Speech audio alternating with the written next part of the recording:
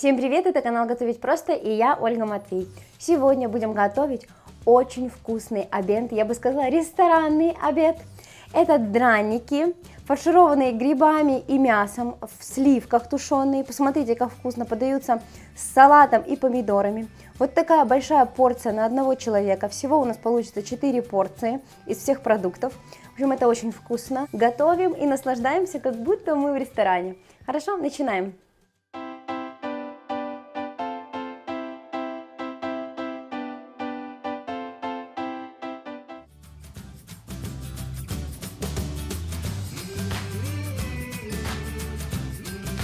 Нам понадобятся грибы. У меня сегодня вот такие грибы, можно взять любые шампиньоны. Помидоры или помидоры черри, с ними просто красивее будет. Пару столовых ложек муки. А, значит, можно взять либо мясо индейки, грудинку, либо курицу. У меня здесь куриная грудка. Соль, перец. Можно любые другие специи по желанию добавить в грибы, если вы хотите. Сливки любой жирности. Чем жирнее, тем вкуснее будет. Картофель, одна луковица и, одна, а, и одно яйцо. Э, любая зелень, у меня сегодня укроп и листья салата, можно взять микс салата. Куриную грудку порежем на небольшие части и отправим на разогретую сковородку. В большой сковородке наливаем немного растительного масла и даем ему подогреться. Не добавляйте мясо, пока масло не разогреется. Теперь нарежем грибы. Значит, грибы не нужно слишком мельчить, потому что их вообще не будет видно, а они должны хорошо чувствоваться. В разогретое масло отправляем грудку. И ее нужно будет мешать. Пока не солите, быстренько мешаем. Огонь где-то средний, чуть больше, чем средний, чтобы со всех сторон мясо запечаталось. Теперь можно посолить и поперчить. Все перемешаем и нужно готовить где-то в течение 5 минут и только потом будем добавлять грибы. Мясо должно быть наполовину готовое. Уменьшите огонь, чтобы оно не подгорело. У меня прошло минуты 4, наверное. Сюда отправляем грибы. Все нужно посолить вместе с грибами. Я подожду еще пару минут, чтобы начали готовиться грибы. Теперь картофель нужно натереть на крупной терке. Пока готовятся еще вот наши грибы с мясом, я буду натирать. Когда картофель натерли, сразу сюда я вбиваю одно яйцо. Значит, посмотрите, уже почти выжарились грибы. Теперь сюда отправляем сливки и делаем меньше огонь. Все перемешиваем. Так, теперь все готово. Буквально минуты три прокипело оно, протушилось. Теперь отставляем. Обязательно попробуйте, чтобы вам нравилось по вкусу, на соль, на перчик, чтобы вам все было достаточно. М -м, очень явный привкус грибов. М даже вот я мясо пробую, а оно грибами, вот как будто грибы. Класс. Мне всего хватает, я отставляю. Лук. У меня большая луковица. Лук пополам, еще раз пополам. И очень тонко, четверть кольцами, вот так нарезаем. Только тонко. Лук добавляем к картошке. Но его нужно вот так помять. Вот таким образом, чтобы он был чуть-чуть мягче. И разделился на все вот эти вот полосочки. Добавляем немного перчика.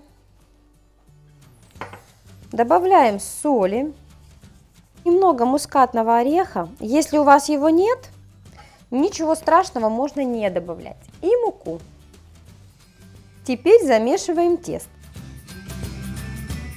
В итоге у нас получилась э, заготовка на дранники. Значит, смотрите, если у вас яйца были маленькие, и вы не могли так хорошо перемешать, добавьте второе яйцо, потому что картофель может быть у всех разный, потому что сорт картофеля разный, и яйца по величине разные. Так, теперь Будем жарить драники. Сковородку нужно смазать растительным маслом. Сделаем сразу средний огонь, можно чуть выше, чем средний. Главное, чтобы драник не горел, а просто подзолотился. Отправляем на сковородку одну часть драников, смотрите, формируя из них лепешечку, вот такую круглую. не шире, не толще, чем сантиметр. Через пару минут переворачиваем на другую сторону. Он должен просто подзолотиться. Не ждите, чтобы он прожарился. Он просто должен быть золотистый, красивый. Жарим наши мега-драннички. Всего у меня получается 4 штуки. Они очень сытные, а вполне хватает одного драника, начиненного грибами на одного человека. Если надо, в процессе жарки драников на сковородке подливайте масло. Перекладываем после того, как зажарился с другой стороны на противень с пергаментной бумагой. И где-то у меня на, на противень два штуки помещается. Драники отправляем в разогретую на 180 градусов духовку на 6 минут. Салат я покупала уже вот такой салат, он уже нарезанный. Я его помыла, теперь нужно посушить. Перекладываем салат в блюдо, где будем заправлять.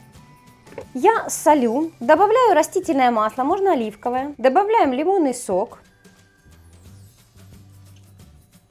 добавляем оливковое масло и нарезаем помидоры. Я покупаю черри, если у вас обычные помидоры, просто мелко нарежьте. Обязательно нужно нарезать немного укропа или любой зелени для подачи. Вынимаем из духовки готовые дранники, перекладываем их на блюдо. Значит, как я делаю? На большую часть драника выкладываем мясо с грибами. Посыпаем зеленью. Выкладываем помидоры. Накрываем второй половинкой драника. Рядом выкладываем салат.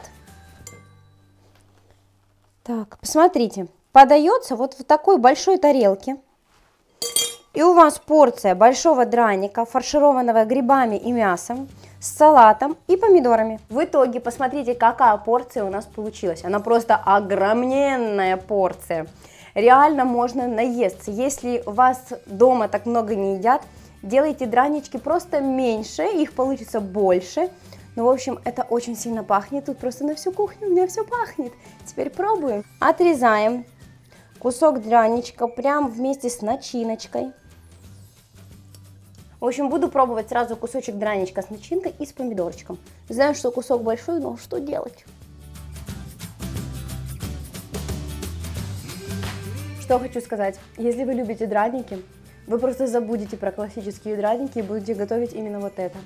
Сверху хрустящая корочка, внутри мягкий картофель. Очень вкусно, знаете, допекать их в духовке. Это крутой вариант. Я, наверное, больше не буду, даже если просто буду делать свои классические драники с зажаркой, с солянкой, я буду допекать их в духовке. Чуть-чуть сверху обжарили и в духовку. Они не такие жирные, они вообще не жирные. А вкус обалденный. Значит, сливки дают нежность и грибам, и мясу. И я бы сказала, что тут все грибы. Настолько мясо пропиталось грибами, э, вот сливки отдали вкус грибов мясу, я бы так сказала. И как будто куча грибов. Очень вкусно. Так, теперь салатик. Значит, легкий салат с ноткой лимонного сока. И все. Не нужно ничего сюда больше добавлять. Тут и так всего очень много, посмотрите.